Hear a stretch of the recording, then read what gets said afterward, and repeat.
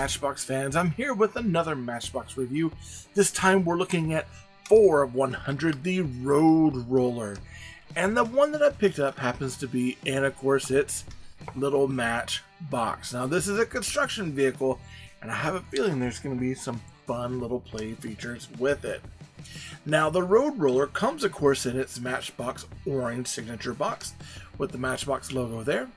We get a repeat of the Matchbox logo up top, some information on the side, recycling information on the other side, uh, jargon, jargon, along with the UPC if you want to scan that. And that's the box.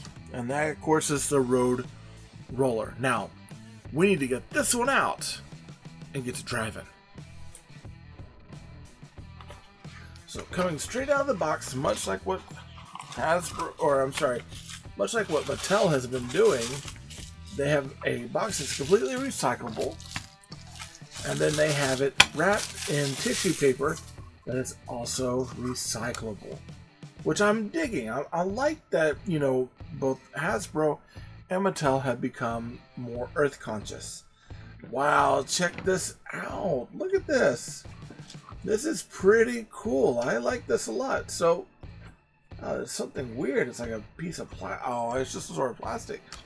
So this is a road roller. So it's the, the one that drives along the road and flattens everything. And it does have a rolling bar up front.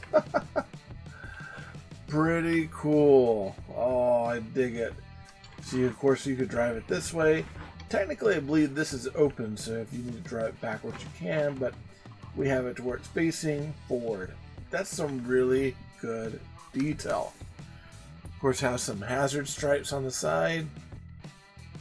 Lots of water slide decals. Uh, you got a warning sticker there. You got road maintenance. I can't even tell what city. It's Matchbox City up there. You got Matchbox up there with some lights. This is number nine. It's got a caution back here.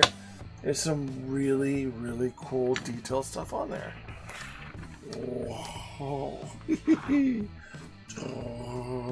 I could see this easily, like with the with the uh, City Works playset, having this with the construction crew, um, that that have like the little, the little guys with the shovels and everything. I could see this with that group easily driving back and forth and flattening the road like maybe outside of the gas station. This is a fun little piece, and I, I dig it. I think it's it's a really cool looking piece. And this apparently is a newer model because it is a 2021 Mattel. Now, metal wise, the only the very top, the yellow portion here is metal. Everything else is plastic, so it doesn't feel quite that heavy, but it's not it's not too bad. It's not um doesn't feel like it's mainly plastic, which is nice. Does have a little bit of heft to it, and it makes it fun. Uh, one thing that I know would be ding dong, especially from from my friend Gary, is that there's no one in that seat.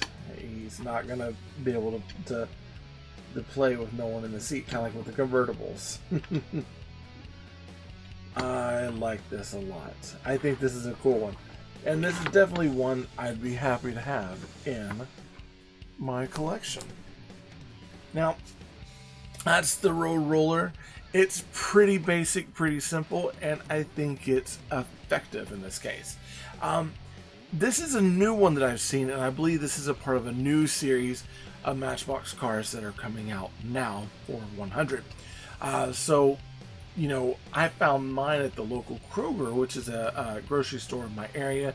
Haven't seen these at Walmart or Target, but I am finding them at my local grocery stores. That'd probably be a good place to go and see if you could find the Road Roller. Now remember, they're not dolls.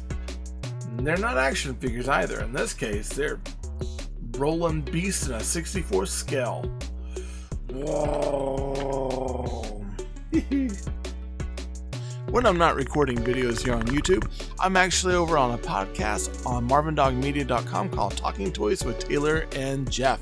It's a really cool toy podcast. Be sure to check it out.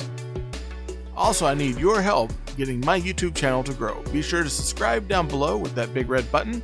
Hit that bell for notifications so you can be alerted of anything that comes from me to you. Like this video, it helps YouTube know that you like what I'm making, and comment down below. I like chatting with you all.